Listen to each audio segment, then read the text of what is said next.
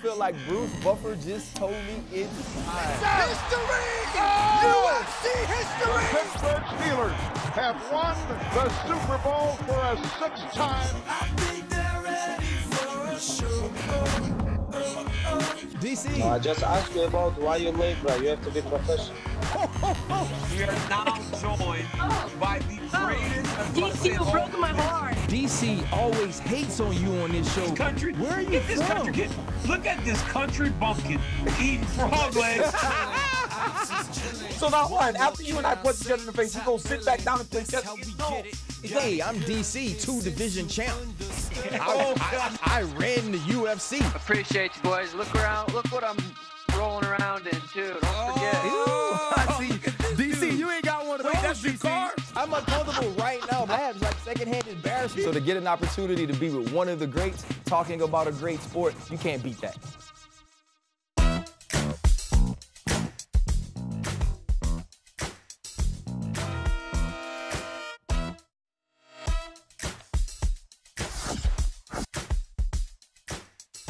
What's up, guys? Welcome to a brand new episode of DC and RC. I'm Daniel Cormier. That's my friend Ryan Clark. And Ryan Clark, you know how much I love the opening animation. I think they're ready for a show. Oh, oh. we love that. Like we love the opening animation. And Yeah. want to tell you guys that the person that made its name is Gonzo, Alex Gonzalez. But not only are we taking the sports serious at ESPN, we are really taking the sport serious. As look at my man Gonzo made his Muay Thai debut last weekend and won RC, won his Muay Thai amateur fight for the first time. So congrats to Gonzo. Hey man, congrats to you, brother. At DC and RC, all we do is win, win, win, no matter what. And our dog Gonzo gets his first win in his first amateur fight. We are proud of you, brother. Not only is the animation on fire, but now you're on fire inside the ring. And DC, man, I know you got some stuff to do, like some housekeeping, right, to make sure people know what's up in the show. But I've done yeah, some yeah, research. Yeah, yeah, yeah. A couple Okay. of weeks ago, you said this about a field goal that you made at the Saints facility. Won't you take a look the list? One time I was at the Saints facility and I kicked a 47 yard field goal.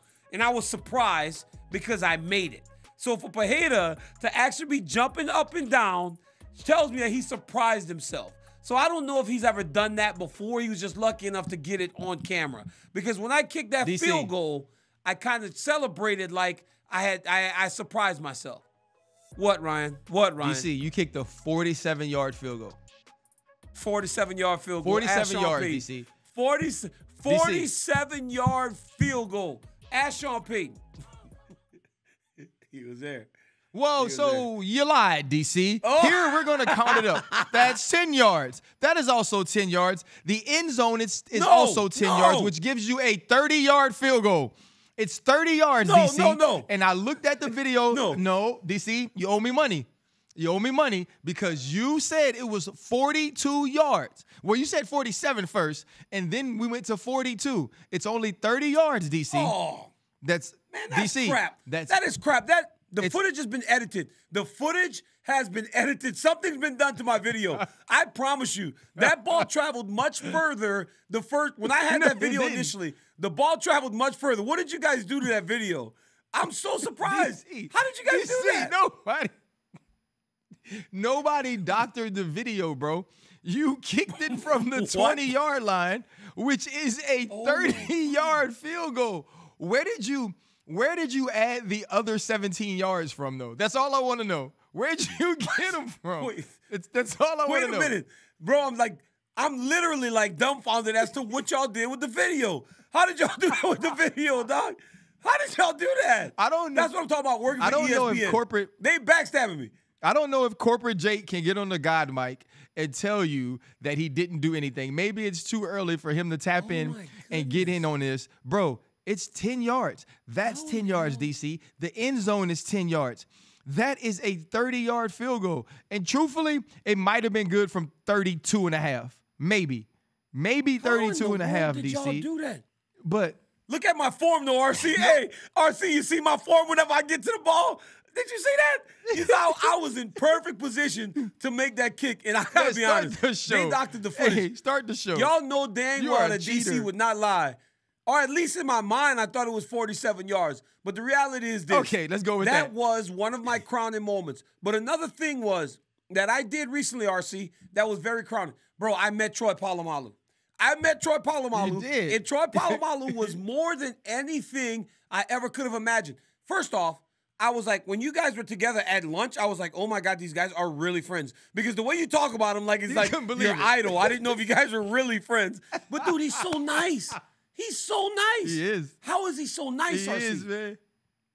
Man, I, you know what? I, I actually told him the, the night before we were sitting down talking, and he said, Hey, man, all I want to do, he's like, I want to meet Daniel Cormier. He's like, You got to do that for me. And I was like, Man, DC's cool, this and this. I said, He's actually a lot like you. I said, we think about the way that he fought, and you would think he walks around and he's angry and menacing all the time. I was like, but he's actually one of the coolest dudes I ever met. So humble, even as being a champion. I was like, he kind of reminds me of you. And so when you two were talking, I was like, this is like the softest, sweetest conversation of champions I've ever heard in my life. Two of the Bro. baddest dudes in the world, and y'all were just so polite and so kind. But it was dope, man, to get Ryan. you know you being my friend, him being my friend, you guys to meet. RC, he told me he loved me. Literally for hours afterwards, I was thinking about it. I was like, oh my God.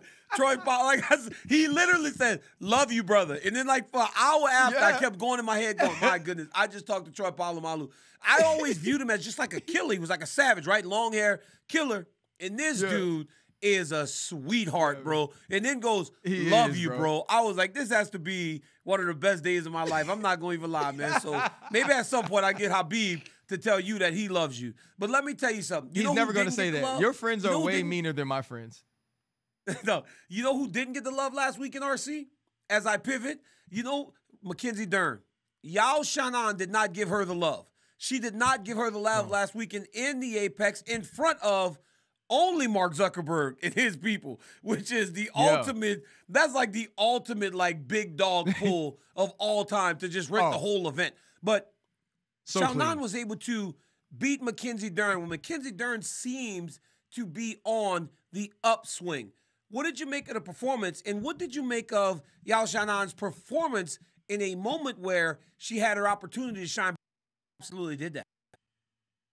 I thought Xiaonan took advantage of what she had. She had an advantage in the striking, and she was able and she was able to use that. I think whenever you look at Mackenzie Dern's opponent, their number one their number one objective has to be to stay off of the mat, and she was able to do that. I think the the other piece of it is DC. I'm getting to the point.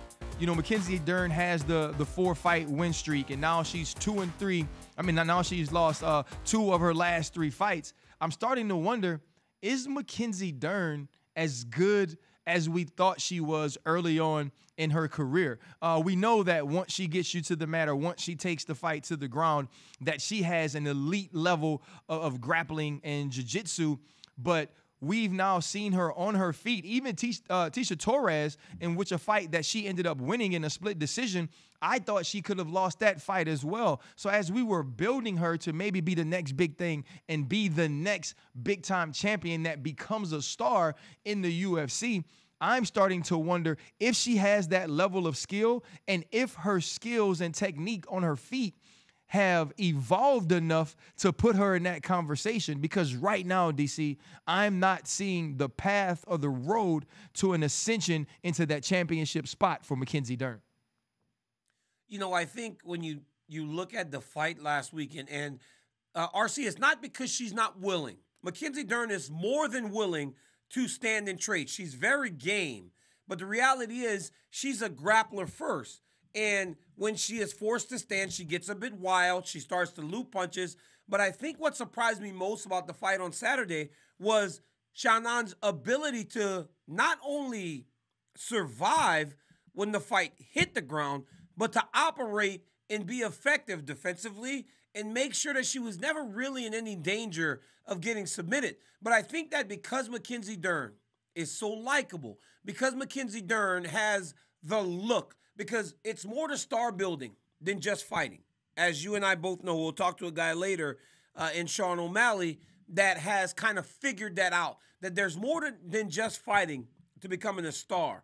Mackenzie Dern has that thing, that it that makes people want to pay attention. But the reality is the fighting skills have not matched up to this point. But I think what we need to really be careful of is saying what Mackenzie Dern did not do while ultimately not giving credit to Yan Xiaonan for what she did inside the octagon. And her coach even went on record going, she may get promoted in her jiu-jitsu belt level because of the way that she competed on the floor in the fight this weekend. So I think that she was always good. She was always very, very good. I think this was the performance, though, that will really introduce her to really high level competition and more of those big name fights that she wants so bad.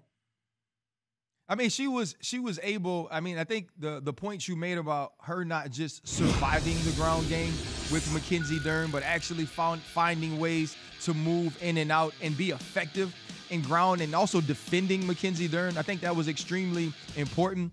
But it also takes us to where Mackenzie Dern needs to go, DC, if this this kind of pre-champion or this kind of ascension that I feel like the UFC had set up for is ever going to come to fruition, is ever going to be a reality. Has her game evolved enough? And do you think Mackenzie Dern can still grow as a fighter enough to where what we saw in the fifth round is more of what we see in her future, or at least bring it back to her earlier fights where she was dominant in the UFC?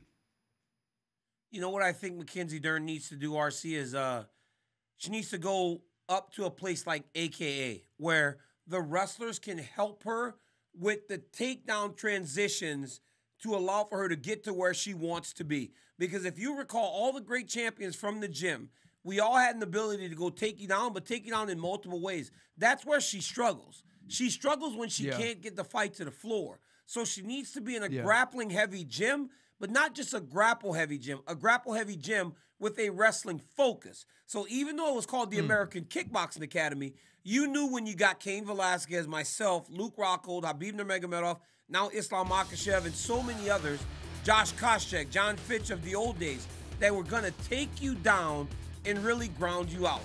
And I think that is where Mackenzie needs to make the evolution because it's not for lack of will. Her willingness to strike will never fade away. She'll fight you on the feet if she has to, but I don't believe that she needs to. She needs to get to a place where they can really help her with her takedowns and not just jujitsu takedowns where she's trying to drag you to the floor, trip you, where she's actually getting legs, moving you around, Yeah. man- outmaneuvering you from one move to the next that will allow her to secure takedowns easier, and then you welcome into her world, which is the grappling. Yeah.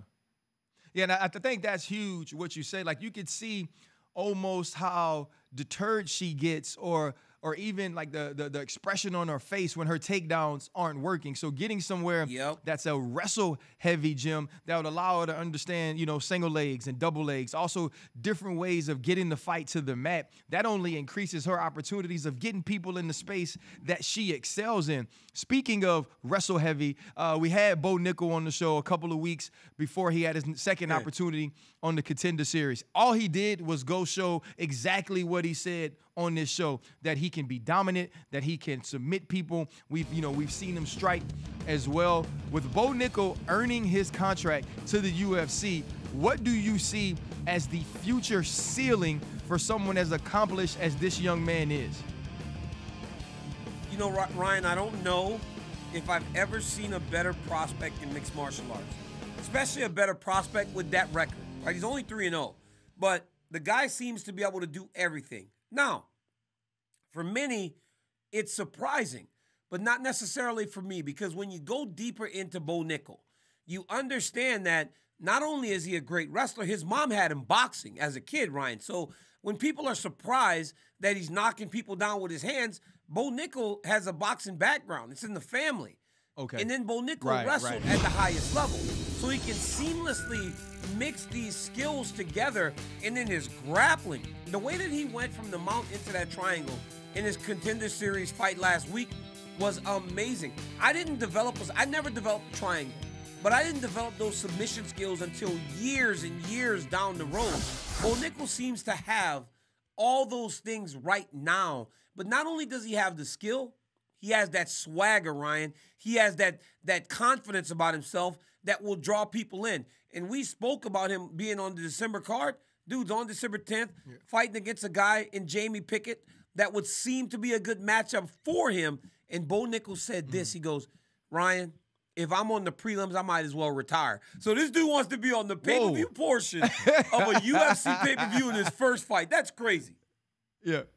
But but I think it's not necessarily crazy, DC, because I feel like as, as sports ha- have evolved, as social media has evolved, as fame has evolved, these young kids aren't willing, not aren't willing, they don't feel like they need to wait. Bo Nickal understands what type of draw he is. And we spoke about it as well. This is the dude that was on our show on DC and RC before he earned a UFC contract, two fights into his professional career. And if that right there doesn't tell you the type of cachet or the type of potential and expectation that this young fighter has on him, then nothing does. You spoke about his ability to stand up because of the, the boxing background that his mother instilled in him. But he's also unequivocally, without without a doubt, without question, one of the best young wrestlers in the entire world when you think about what he can do and how great he is at that one aspect of his game that has UFC guys and pros right now thinking he can ragdoll some of the game's best grapplers, some of the game's best wrestlers. What is it? Uh, uh, Henry Cejudo said Chimaev thinks he's good at wrestling. His wrestling is nowhere near Bo Nickal. I can tell you that 100%. I can see Bo Nickal easily taking down Khamzat Chimaev. That's huge for Henry Cejudo, someone who understands wrestling at the top of the game, to say something like this about Bo Nickal, what is it about his wrestling, DC, or his style of wrestling, how good he is at it, his technique, that makes someone like uh, Triple C say this? He just he's fearless. He really is fearless out there, man. I um I spoke to this recently when people were asking me Bo Nickal's freshman year, uh, sophomore year, sorry, he was undefeated. He was the man, RC. He was the guy. He went to the Big Tens and he lost in the finals of the Big Ten tournament. That would normally deter a young wrestler. He wrestled that same guy in the finals weeks later and he pinned him because that's who Bo Nickal is. Bo Nickal doesn't allow for uh, bumps in the road to really deter him or knock him off course. He's always heading down one path, and that's to being the best. And when you matched him up in just wrestling, I don't believe that Khamzat can compete with him, not just wrestling, but in mixed martial arts, that makes it a little bit more difficult to implement just a strong wrestling base. Look, I struggled taking down Jon Jones, even though I was a much more mm-hmm. credentialed wrestler because he was taller. There are so many factors that go into effectively wrestling someone inside the octagon. So I get what Henry's saying, but I think that in time, that may be true. Today, I think that Bo Nickal still needs a little bit of work. And I think that even though the UFC won't tell you there are development fights, there are still development fights. Like in boxing, it's very clear when a guy doesn't belong inside of the ring with his opponent. There will be clear for Bo Nickal in at times. It just won't be said to you right to your face. But there will be some fights that he builds up to. Well, I think when you look at the when you look at the UFC or mixed martial arts, is it's one of those sports that we starting to see guys quote unquote get fast track. Uh, we'll have an opportunity uh, to speak to Sean O'Malley and and and and, and, and in speaking about Sean O'Malley, it's going to be some people who think he's been fast tracked to get a Petr Yan fight. We saw Khamzat Chimaev get a Gilbert Burns, which was very fairly early in his uh, UFC career football is one of those sports where we don't feel like freshmen in college should be in the league, right? We don't feel like mm-hmm. guys who are just fresh out of high school get an opportunity or could hold, hold up physically to what the NFL provides. I think the only person I ever looked at and thought that about was Adrian Peterson. When Adrian Peterson was running at oh. Oklahoma, I was like, he could play for the Minnesota Vikings right now as a freshman. Uh, we just saw another from the contender series. We just saw a 17 year old in Rosas Jr. Why you said uh, his name? Why you said his name, bro? Why you said his name after what he did? after what they showed us that they happened to AP, bro. Now why he gotta say AP name after what Le'Veon Bell did to him? why you gotta? Why you bring I was that trying up? to keep it together. I was trying to. Why you it bring that up, I was dog? trying. That- I'm sorry, Listen, bro. You said his name. We're not.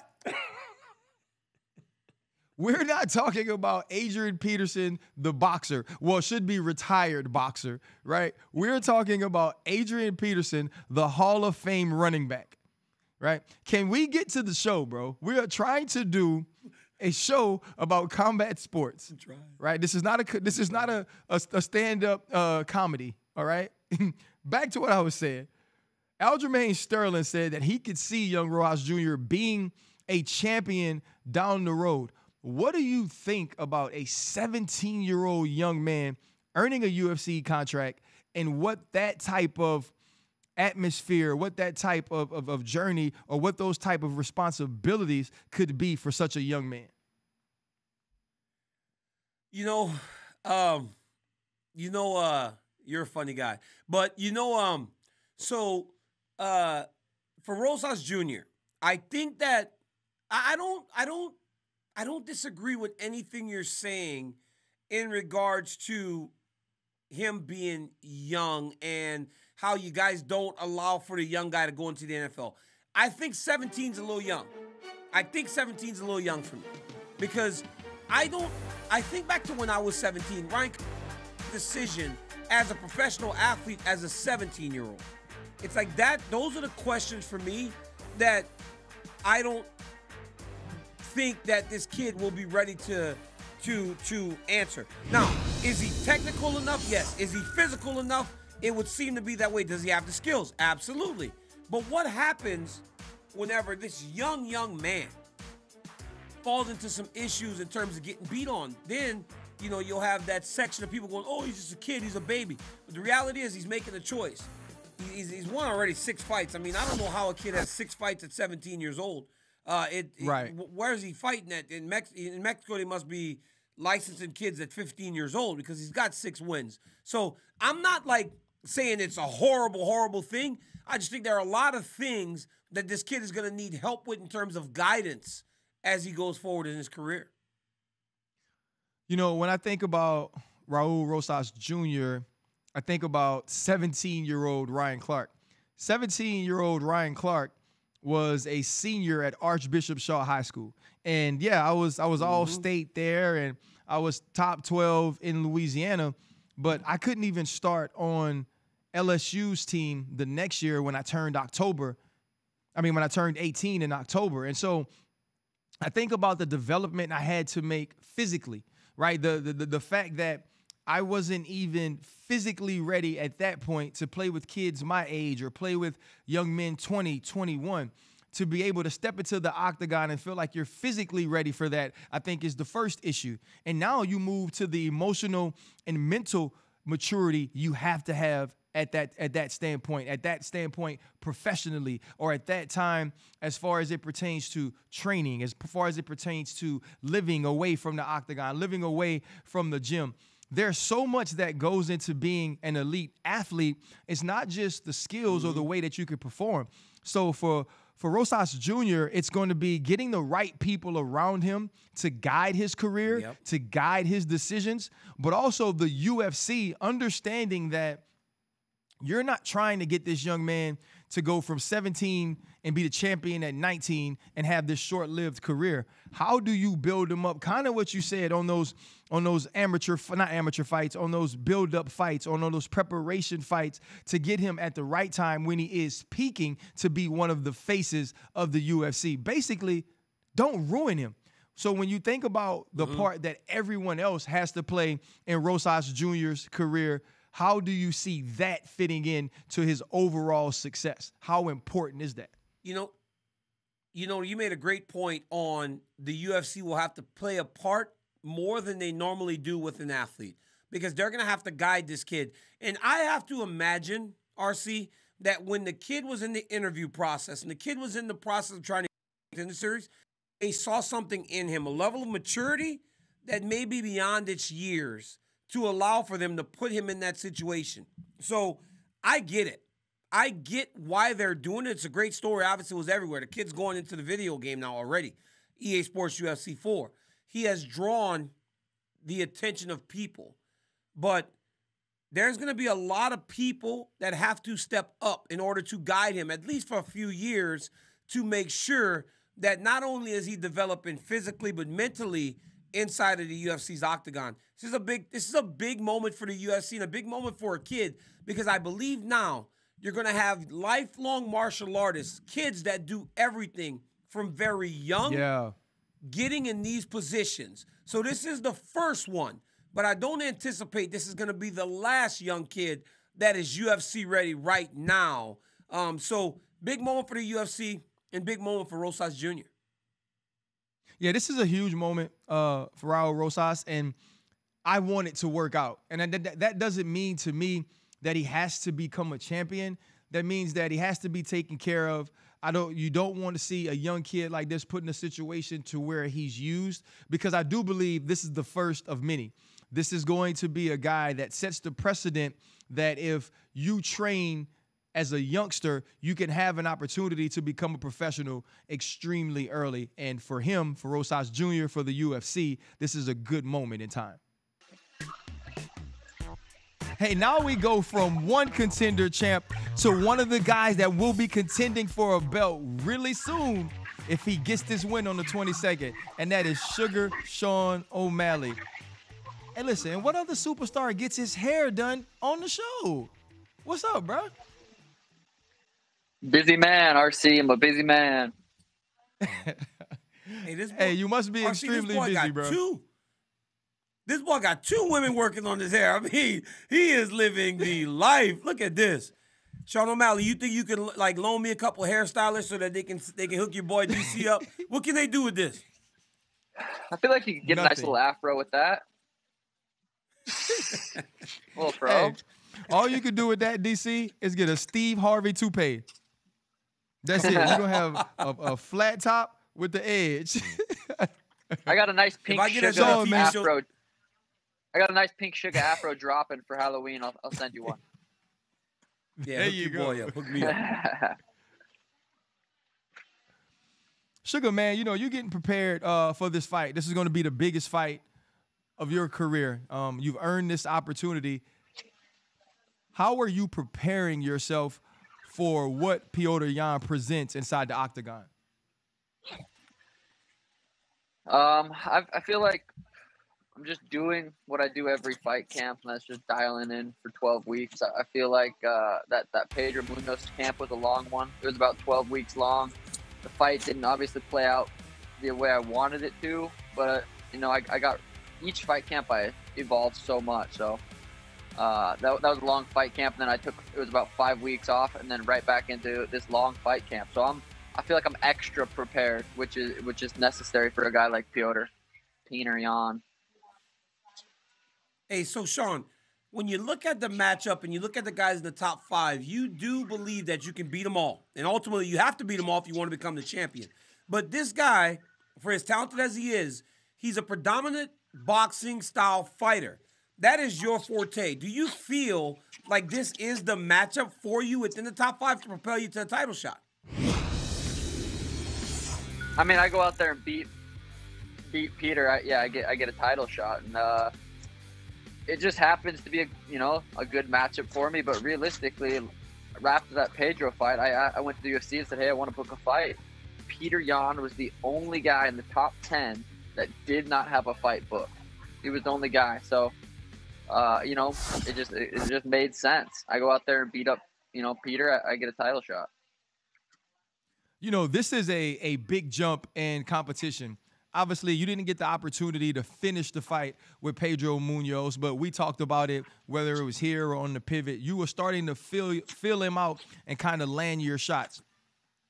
Without having that finish, without truly knowing that result, where is your confidence going into a fight against someone ranked as highly as Petr Yan and who is a former champion?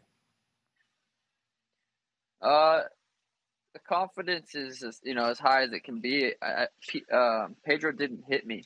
You know, he might have kicked my legs a couple times, but I think that's a, a pretty silly narrative. That's that's how you just got to go out there and beat me, He's kick my legs. I mean, I checked probably half the kicks he threw. Um, he didn't punch me in the face. He didn't punch me in the body once, and he's a top ten guy.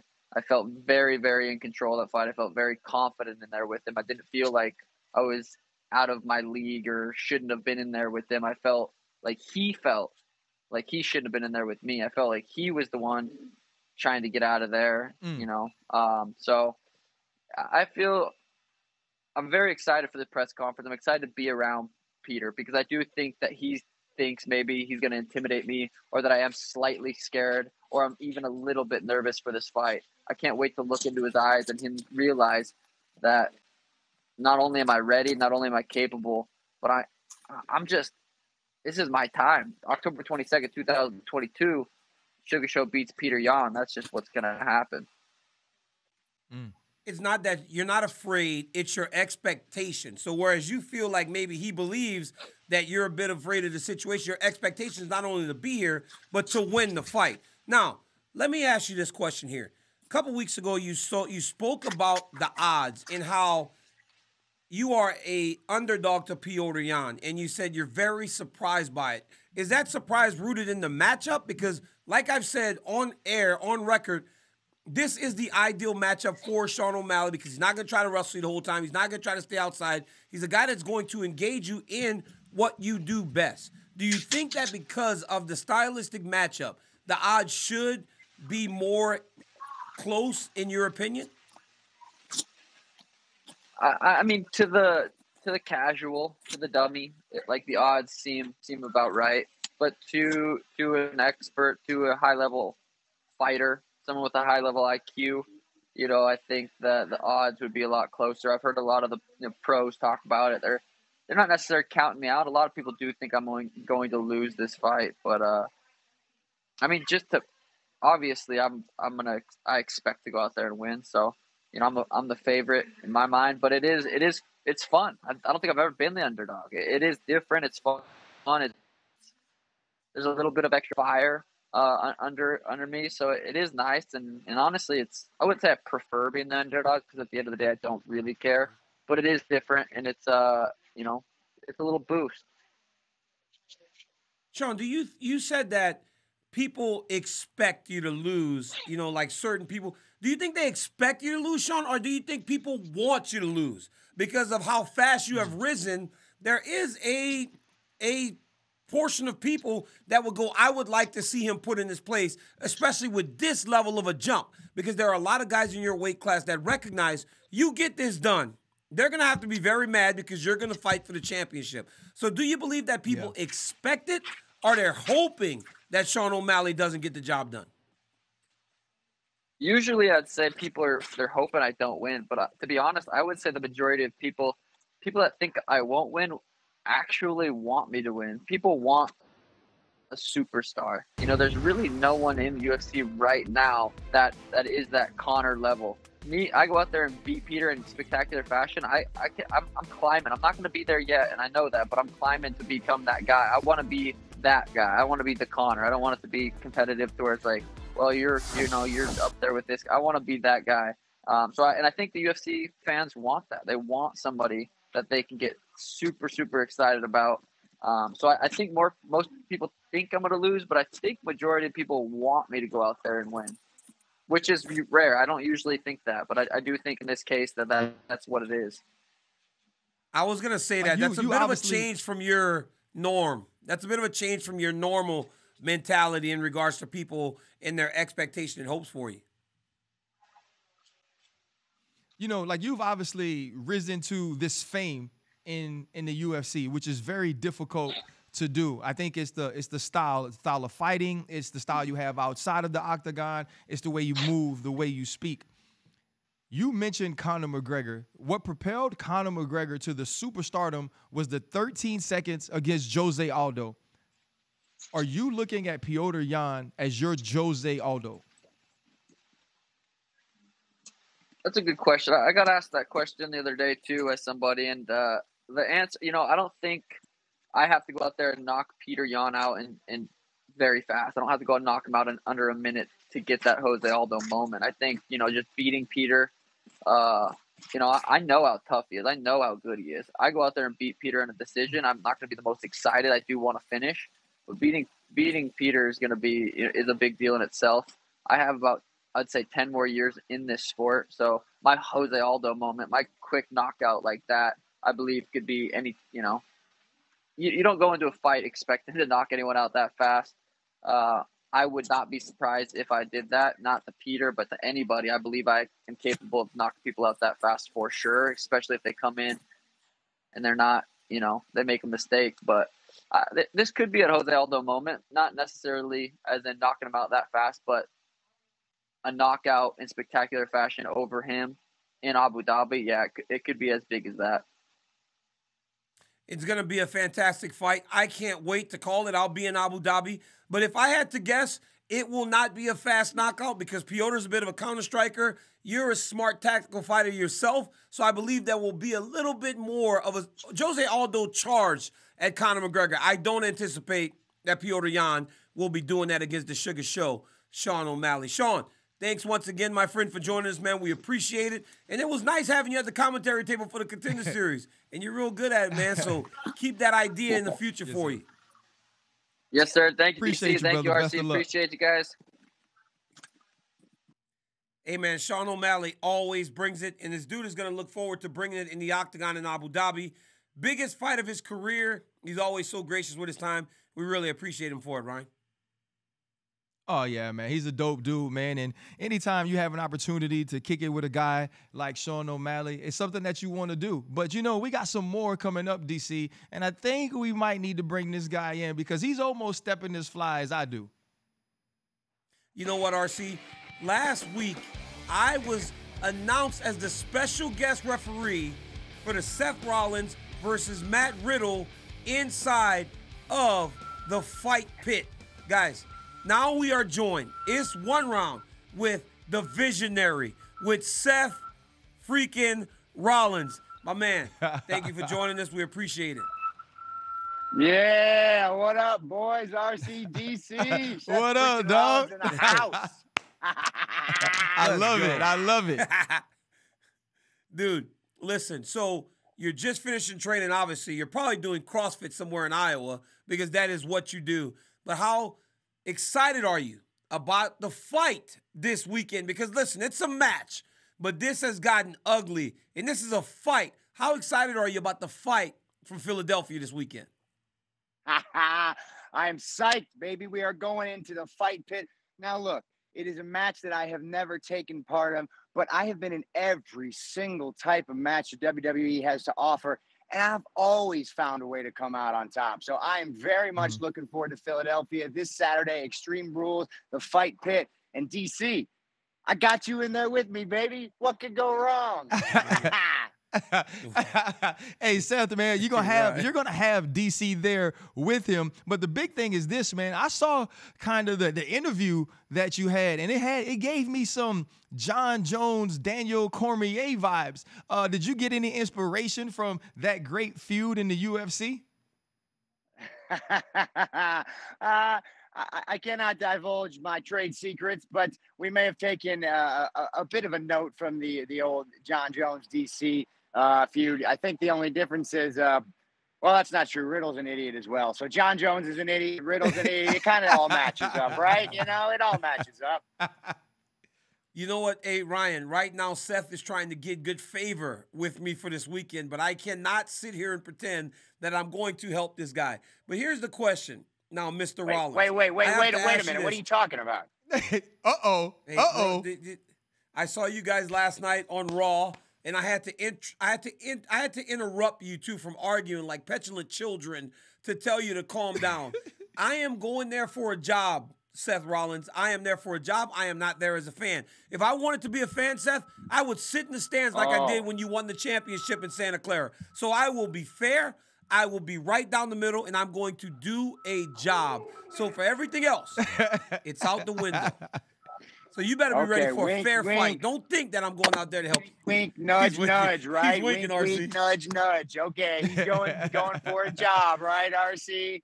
Come on now. Come on. I'm not that stupid, DC. I know we go way back, like you and Riddle both in the fight game and all that. But look, you're a fan, man. I know you're in there. You, you got to have my back, right? Come on. You got to have my back. Nah, nah, nah, nah. Forget that. I was not paid to do that, RC. Now, listen, let me ask you a question, Seth. I watch you every week, Mr. Monday night, doing your thing out there, really captivating the crowd and really catching them and holding them in the palm of your hands for a long time. And that is why I was such a big fan of your work earlier, was that people kind of wanted to get behind you, but it seems like now you're competing at a level that I've never even seen you compete before while not holding a championship. Like, how exciting is this time in your career? Well, look, um, I'm gonna. I'm just gonna go past. You know, you trying to say that you're gonna be impartial here and, and kind of putting my back against the wall. And I'm gonna talk about me because you're right. I am at the top of my game right now. I am in my prime. I'm 36 years young, baby. I am feeling good. And the most important part, the most important part is that I am as sharp as I've ever been right here. And that's what matters most, baby. So it doesn't matter if I'm getting title opportunities. It doesn't matter if Roman Reigns doesn't want to show up, if he's ducking and dodging me. It doesn't matter. I'm the champion in my heart. I'm the champion in the people's hearts. And baby, I'm just getting started. I'm just getting started, DC. hey Seth, man, listen, we're gonna we're gonna ignore DC, man. I know he's trying to put your back in the wall. He's making against the wall. He's making it seem like it's two against one, but it's actually not, bro. Cause I'm on your side, and here's why. Here's why I'm on your side. Though. I've been checking out some of these outfits that you wear, man, on fight night because that's just what we're talking about, and you stay clean. So I want to get into a little step and fly and talk about something that you wore at WrestleMania, bro. I don't know what it was. What is, was it? The blue lace with? It was like a baby peacock outfit, man. Tell us a little bit about your inspirations when you get your when you get your outfits ready, man, to go out there, entertain, and show the world what you are. I mean, look, it starts up here with a little germ of an idea. I got a whole team. I got a stylist. His name's King Troy. You can find him on Instagram. I got a guy that does my gear. His name is Mikazi. I am Mikazi. Sarat Tan on Instagram.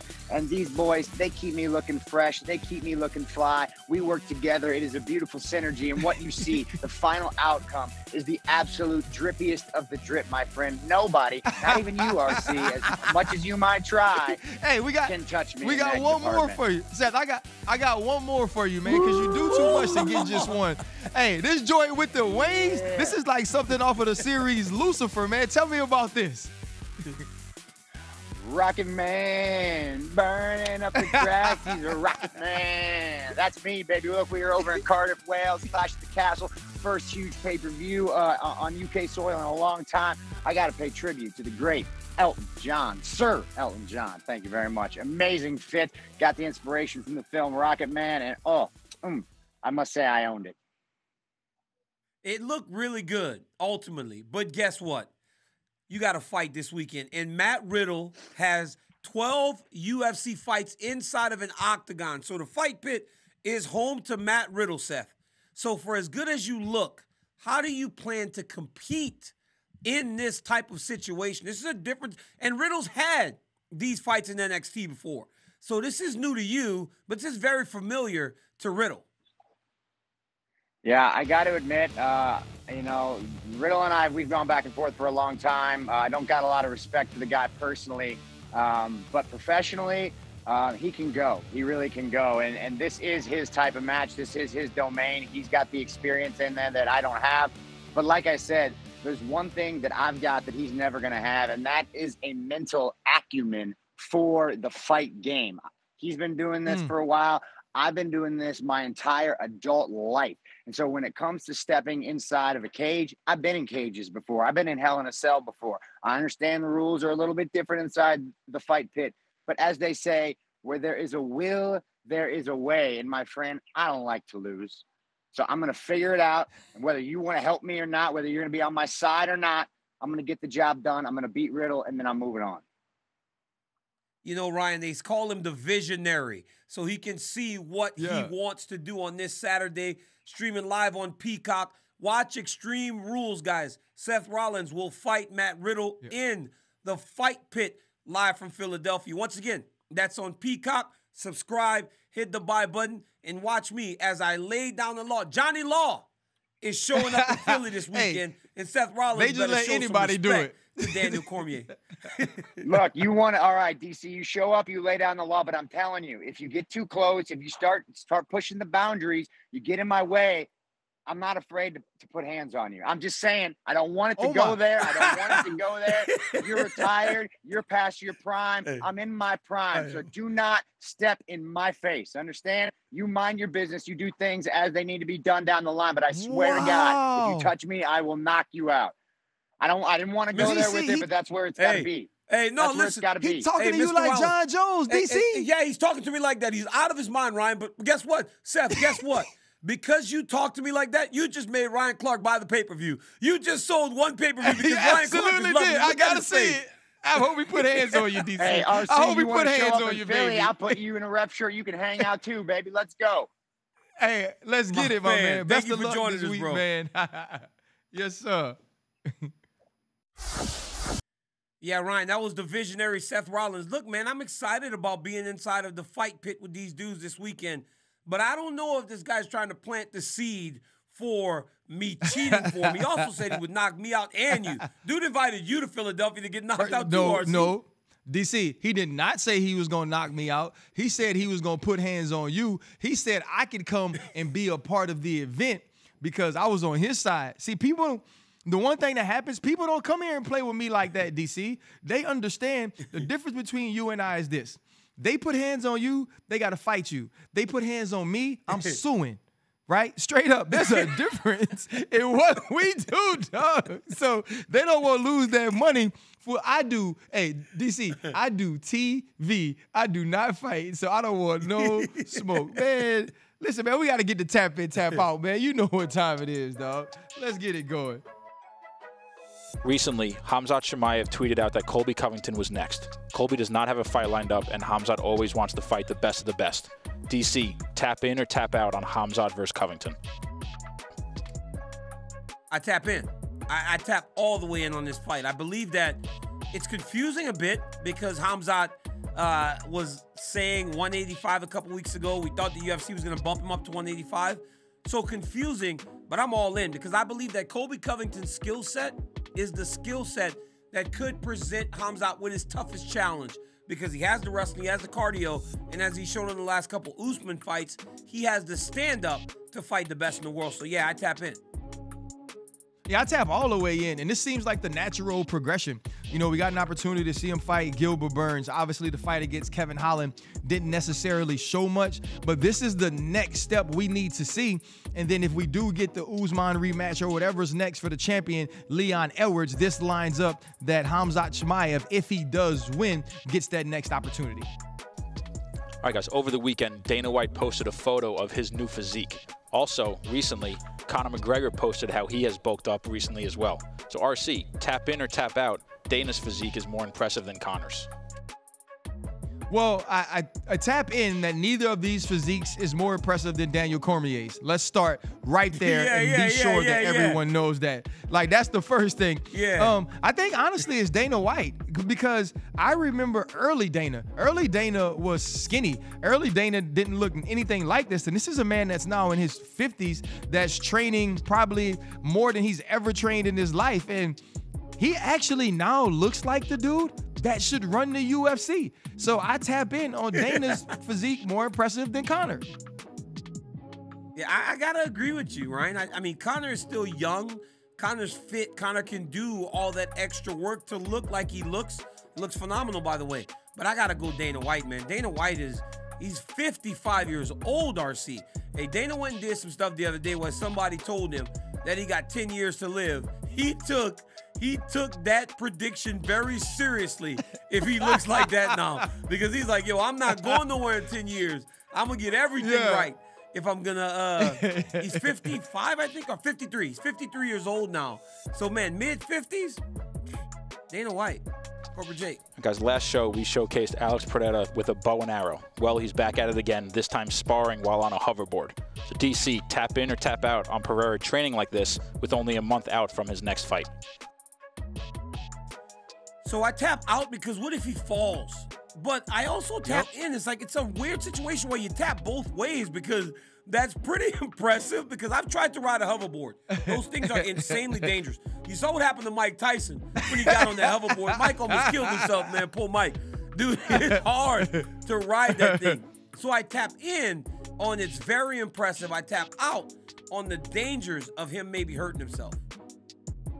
No, listen, I kind of have to agree with DC. This is both of them, right? If he like, I can't ride a hoverboard, hoverboard just around my house, so I couldn't imagine imagine sparring on one. But if he falls, hits his head, puts himself in a compromising position, now you have one of the biggest fights in UFC history that has to be postponed or is thrown off in some sort of way. But then I tap in just because it's really dang cool, and so Alex Pereira has been really big into what we've done and tap in, tap out the last couple of weeks. All right, guys, lastly, another craze took over the internet recently car jitsu. Two competitors sitting next to each other Oh, in a car oh, going at it. RC, tap in or tap oh, out on car Oh, jitsu. man. I tap so far out on car jitsu. Why are people so dang bored, bro? Like, what are you doing? Weird, like, man. where do you where do you get this idea? Is it and, and whose car are we jiu-jitsuing in? Right? Like, I don't want your sweaty tail all over my car. And then I, if I'm jujitsuing, I don't want to jitsu jujitsu in a car from the junkyard. Look, this look, is look, absolutely ridiculous. This is something and he about to go to sleep. This is something DC would do though. And honestly, let's call it what it is, y'all. It's a bar fight. That's what it is. It's a bar fight outside of a club. RC, look, look, look, look. Look at the very beginning, RC. When they start the clip again, it looked like they kissing. It actually looked like they was kissing in the look, look, in the front seat of the car. I thought that, I, look right here. I thought they was kissing that first, man. I didn't know what I was watching. I'm tapping out on car jitsu because it looked like he got the seatbelt on still. He still got his seatbelt on. How's that not unfair to the guy in the seatbelt? He winning though. He beat the dude that's not in the seatbelt. It's pretty entertaining when you look at it, but I'm tapping out, man. I'm No. done with that. Corporate Jake, Yeah. y'all find weirder and weirder stuff every single week, and I love it. ARC, look, man, every week we are here on YouTube, now on E ESPN2, midnight Eastern. But my brother, I gotta be honest, the work that y'all doing right now on NFL Live with that Illustrated is next level. Bro, add more segments. appreciate what it. you and Orlovsky are doing right now, no, what you and Orlovsky are doing right now is insane. And I also saw you on the pivot with Roman Harper, and y'all kind of look alike. You and Roman Harper look like brothers, man. I'm sorry. y'all kind of look like brothers, it's, you and Roman Harper. hey, it's all good, man. Listen, y'all make sure y'all keep tapping in with us. We're having a great time bringing you this show weekly. Remember, man, on YouTube, anywhere you get your podcast, E ESPN2 at 12 Eastern. I am RC. That is DC. He didn't forget to add me at the start of the show this time, so I guess it's both of our shows for one more week. We're going to holler at y'all.